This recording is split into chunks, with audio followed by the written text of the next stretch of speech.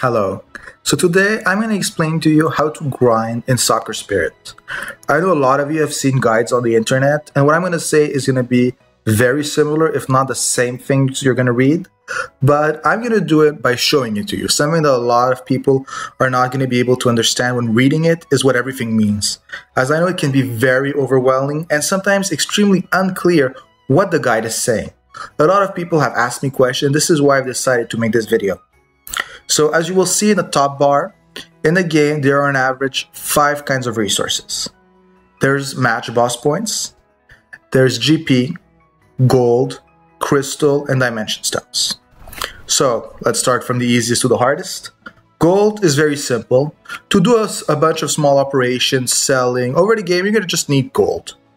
It's something you're always going to need at the end of every match, or basically every match. It, certain special matches don't have it. You're going to end up with gold.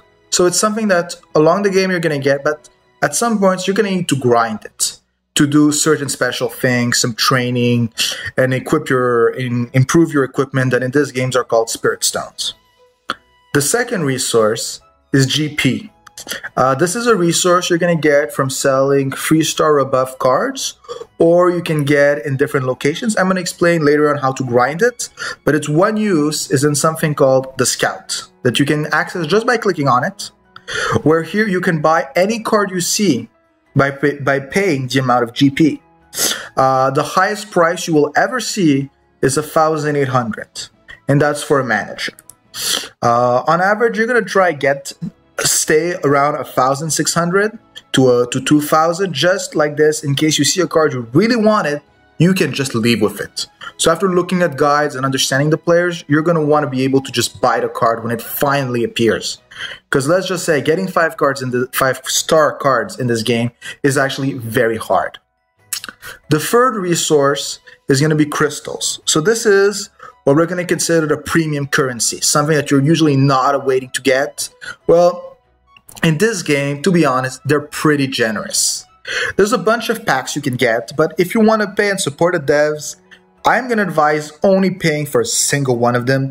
And it's the one that's right here. You can see I had to renew it. It's for the month. Uh, every day for a month, you're going to get 20 crystals. Uh, it's extremely cheap. Depending on the currency, it might be a little bit more expensive. Uh, I, from what I understood, in the US, it costs seven dollars. In Canada, is around eleven. And basically, I, I consider it a subscription to the game. It, it allows to help the devs, and compared to a price ratio to the amount of crystals and resource you get from it, it's really great. But if you don't want to pay, there is a way because the game's generous. There is a daily achievement, so you will want to complete it every single day and be careful to always do it. I haven't gotten it yet, but if I spend five minutes, I'll be able to. They're very easy to make in two connections max you're going to be able to get them all if for example you need to do 10 matches in story mode it costs 20 strength at the beginning of the game you can already spend that in around let's say 5 minutes of gameplay and leave with those 5 crystals but what's really nice is there's a bunch of consecutive achievements who are going to give you a lot of crystals. Well, my numbers are higher than what you're going to see at the beginning of the game, but mine are harder to get. So there's going to be grades of achievements. For example, you see here Galaxy Conquest 3, meaning there was 1 and 2. So again, more you go late game, the longer it's going to take for you to get them, but when you're going to get them, it's going to be much more rewarding. And this is a currency you're going to spend when you want to buy skins, when you want to do special draws, when you want to spend on stuff. There's the buy gold, buy buy basically any resource in the game except GP. And well, Dimension Stone is something even more premium. Then we have the boss points. You will see in the top left corner. Uh, very often, you're going to have something called a boss match or um, a minion match. So the boss match is only going to be on the weekend, and the minion match is going to be for five days during the week. So it's usually going to be on different chairs. Uh, and when you win the match, you will only be able to get one of the four minions. So there's always one free star and three four stars. Uh, one's going to give on average 10,000 gold, one 10 to 20 GP, one's going to be experience, and the last one's going to be something tiny, who's the free star. But what's interesting is every time you complete it, you're going to get some points. If you lose, you get less, but ideally, you're going to take a difficulty you can master. So as you see on top left, it's I, I have only 21 points. That's because I've already collected everything I cared about. Uh, I wanted the Swirly, the Beelzebub, the four-star Penguins, and I've already purchased one time the player. You can purchase them up to three times, or on the weekend match, there's a chance that it will drop. But the weekend match is extremely hard, and for a lot of new players, it is not an option. And there are event scouts, but that is an entirely different story, and that is just based on the fact that you spend strength doing any kind of match whatsoever. And then we have dimension stones on the top right. It's very simple. You do not spend them ever. And I'm not I'm not saying this to be the, the complaining old person. It's just to say everything you can buy spending them is never gonna be as interesting as the last deal. The one right here. You, if you are able to save up 900 of them, you can choose a legendary card of your choice. You're gonna say it's interesting, yeah, but when you, you start advancing and you understand how powerful they are, it's extremely interesting. Sadly, you can't get season 2 legendaries, but to be honest, except for maybe one of them, they're all extremely strong. And as you'll see your team formation advance, your question is going to be which one's the best, and you're going to be able to find that pretty clear. For example, uh, William and Leviator are some great shooters. Uh, Balteon is the only legendary passer, in my eyes, one of the strongest in the game.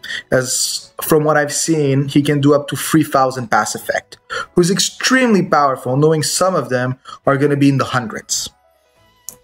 So, saving these points for these players is much more rewarding.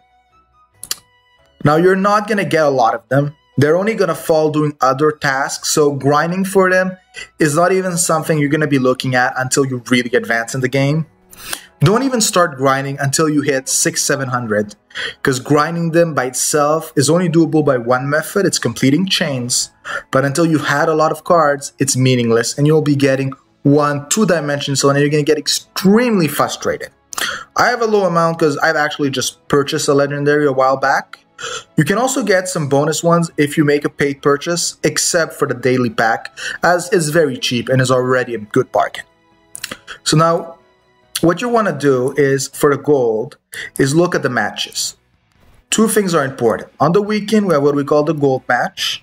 It's extremely good to spend some some strength. The level of the match is actually not important you want to of course try to do the highest one because they're going to yield better rewards. But if you look at the base cost for the amount of gold you're going to get it's very good. If it costs 6 strength you're getting around 3000 8 strength 4000 10 strength 5000 so basically one strength 500 gold. It's an approximate amount but it's it's not a, a bad deal. If you're weak to just do the, weak, the the smallest one the normal difficulty a lot of people can pull that off well, the hell one is even at my level can sometimes be a little bit challenging when I mix up a few players. So you want to usually try go for the lowest one, but if you're able to go further, I mean, you're going to get a better amount of swirlies, so something you're going to want to farm later on as they're going to help you evolve player, and they're also going to allow you to, to give them some bonus stat points, but that's going to cost you gold again. So sometimes you're going to start the weekend grinding gold, and you're going to leave the weekend with less gold than you began by doing these matches. Ironically, your team's going to be stronger, but that's just a detail. And you're going to have what we're going to call flash gold matches. They're going to be happening for only one hour. There are none on the weekend. If you go to the bottom of the schedule, they're the very last match. And the gold match is the special one yield more gold, around 10 to 20 percent. Uh, last time I did one, I think I got around uh, 6,400 gold, while when I do the weekend one for the exact same match, I get 5,400. So it's around a thousand. I'm, I'm saying this approximately. So it's even better if you can do those, but if you can't, you want to do the weekend ones. And there's a lot of different matches. Uh, very often, you're going to have a daily match who's going to be a weekday gold limited match. Always do those. You can only do it three times, but it's a great bargain for the amount of strength it's going to cost you. And there's no better match for gold except the Sunday special gold match that happens only three times, but that's the best deal of gold you're ever going to get. So again, just as you can see, uh, they're flashing green. That means we can use them. And you see again my gold going up. Um, for these two managers, they really shine when you rank up over a certain level because they're based on the amount of friends you have. No, you do not need real friends in real life for this. It's not important. Whenever you play a match, unless you have maxed out friends, it's going to propose you to use units who belong to people who are not in your friend list.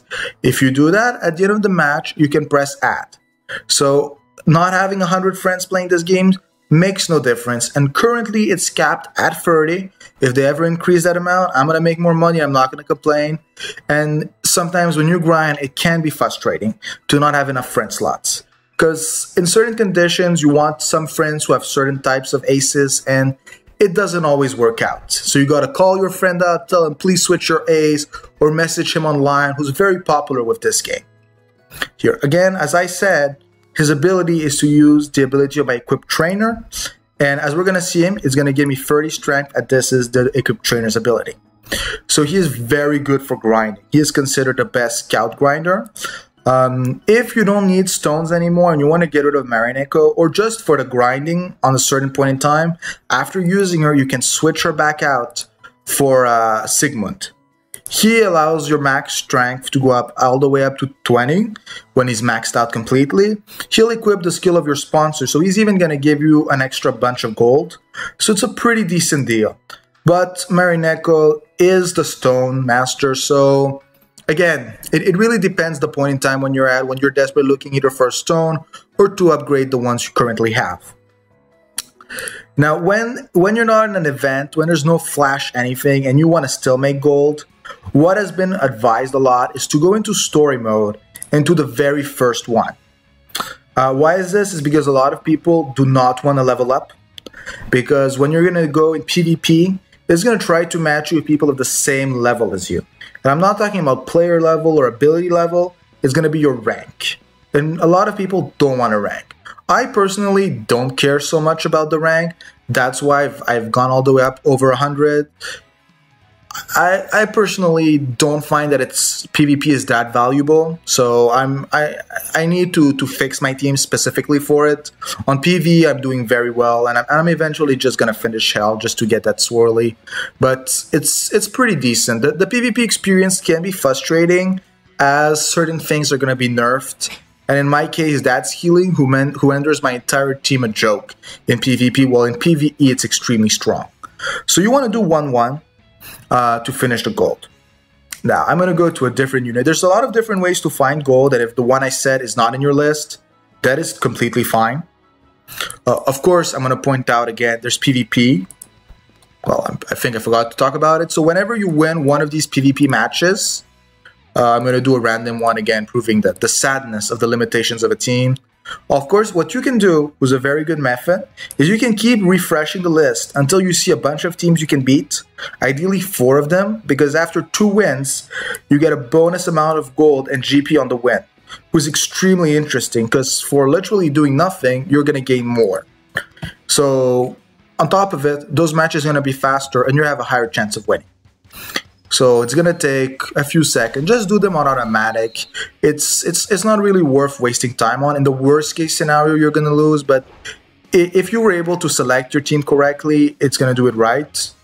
When you want to do this more professionally, you can look at the enemy team, check their stones, check exactly what strategy they're using, move your players accordingly, looking at elemental resistances.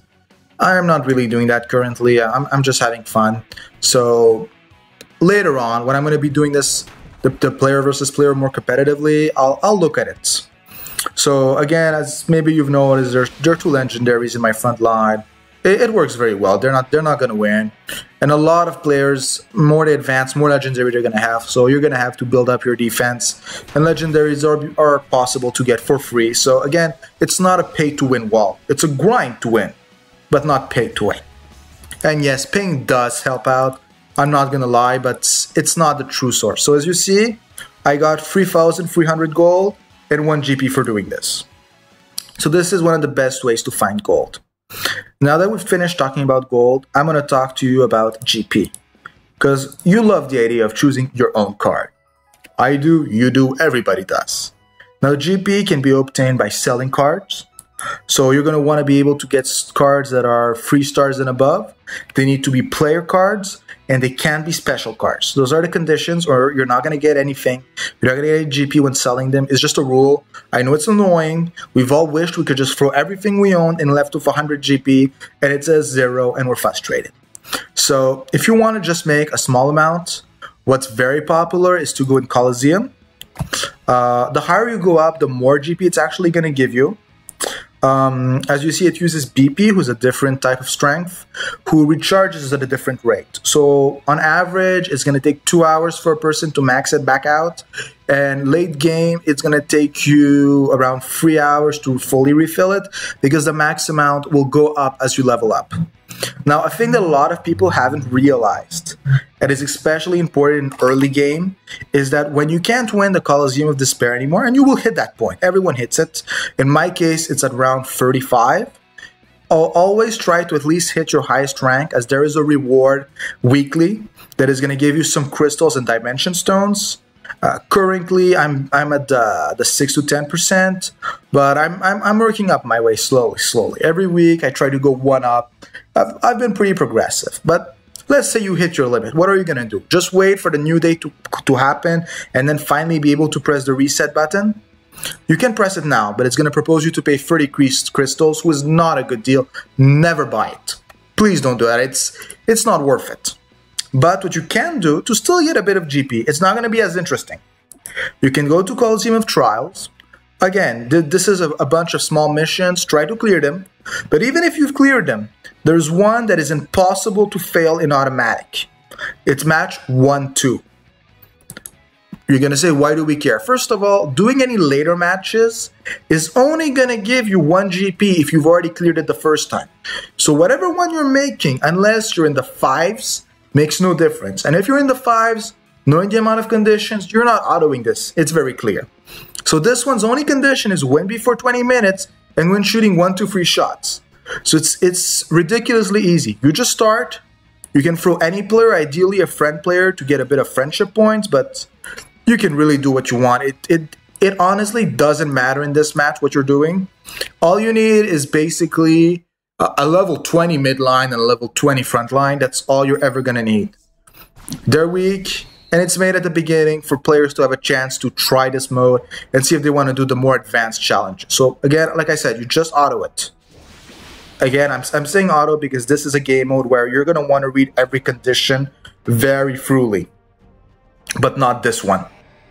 So again, pass, Vanchi shoots, it's over, Again, those are two legendaries, but if you don't have legendaries, it's still going to work that easily. And like that, you got 1 GP who a lot of people don't get because they say, oh, I've reached my limit. I'm coming back to this tomorrow. It takes just a few seconds and you're going to be able to get that extra GP. So that's how you get GP. And again, as I told you, a lot of people like to farm the match 1-1 in story mode.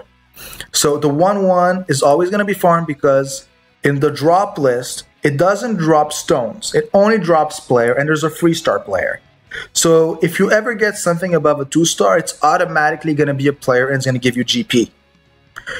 So the thing is that the amount of cards is something that may highly vary depending on your setup. As I said earlier, Peril will increase the chance of getting a bonus card. But there's a second type of bonus card you can get. And that's what we call the Clover card. So when you look at the picture of any player you've got, you're going to see a little bit under their element a number of clover. And a clover is going to allow you to get additional rewards. So for example, were you to have a 99 clover, and ideally you need to choose this player as your ace for it to really work, the best player for this is always going to be Elizabeth. And when you hit 99 with her, yes, I know I'm not at 99, but I'm slowly getting there she's going to give you an extra card. Now, for a lot of you who have this great belief that taking two stars, making them 99, having a full 99 team is a way of life, it is not. The base star level of a player is what matters.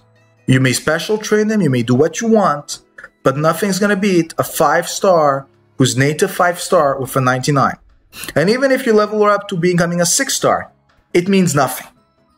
Of course, the dream for grinding would be a full 99 legend team.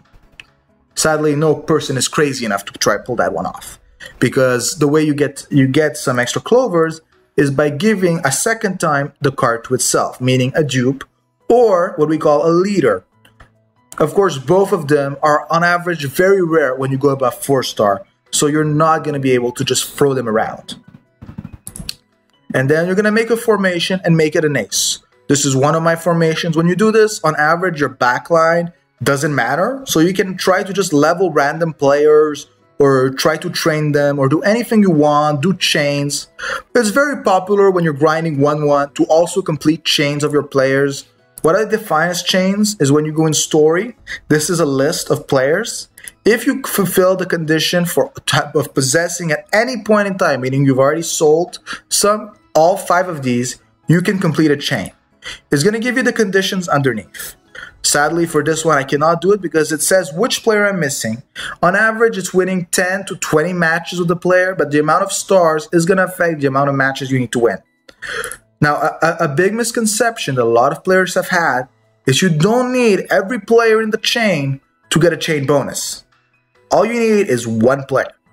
I'm just putting that out there because I've seen a lot of people tell me, oh, there's five players, but I only own four. I'm never going to get the chain. You only need one. It's something very simple. And chaining is the only way you can far dimension stones. Because when you complete all four chains of a player, it's going to give you an amount of dimension stone. The thing is that this amount is going to be based on their base level. So let's say that you're going to do a two star and you complete all its chains, you're getting two dimension stones. A three star four, a four star six, a five star eight, and a six star 10. The thing is, the lower the star, the easier the chains. So you're going to notice that you're going to finish all the chains of the two stars first, except for one or two of them who felt that one of their chains required a legendary, who, on average, you're basically never going to own. Well, you're going to own some after a certain point, but it's going to take time. Oh, and uh, if you look at my screen, you will also see that there seems to be a bug as this is supposed to have text and not just be a white blob. Now, for crystals, we've explained the ways the achievements and there's also going to be some consecutive achievements and end of season achievements. There's one for getting 300 GP, who's pretty decent. And very often in events, there's going to be some sort of crystal reward at one point. It will, on average, require a decent amount of grinding, and you're not going to be so happy about it. But it's usually pretty doable after a while. It's made just for not everyone to finish with all the crystals, because that is technically where they make their money. So they're going to give you some, but they're going to make you play for it. So if you're not paying, at least you're playing the game. That's kind of the idea behind it. So lately, we're having an operation where every 24 hours we get rewards for completing a small mission. And um, if you look on the fourth day, for getting 30,000 gold, we got an extra 20 crystal. This game is very often under an event. It's extremely rare you don't have one, so you need to check constantly the event tab and slowly read the details. I know it's annoying, but you need to do it. And the last way is going to be in PvP in something called Galaxy Super League. You're not going to win them every round. You're only going to win them when you rank up in the league. The thing is that ranking up is extremely hard because on average, it's going to require you to have an AAA to pass the first rank, and then it's going to require higher amounts of team ability, or extremely hard. Even with my team with four legendaries, I'm having a pretty tough time getting to Diamond, and that's saying nothing about the following leagues. But again, as you notice, it gives Crystal and Dimension Stone, and at the very end of the season, you're going to get some leaders who are used to special train, uh, not special train, what am I saying, uh, to count as duplicates toward characters and will give them also the same amount of clover as the leader. So I hope this answered all the main questions that you can have about the game. Uh, if you have any other question, uh, just notice me and I'll try to make a video on this. But I think this was something that needed to be shown in video as a lot of people through time have had the exact same questions. And I know that it can be extremely overwhelming when you're just reading a five page article saying, you should do this, you should do that. And half the time, you don't even know what the hell we're talking about. So thank you very much, and I hope you'll enjoy this.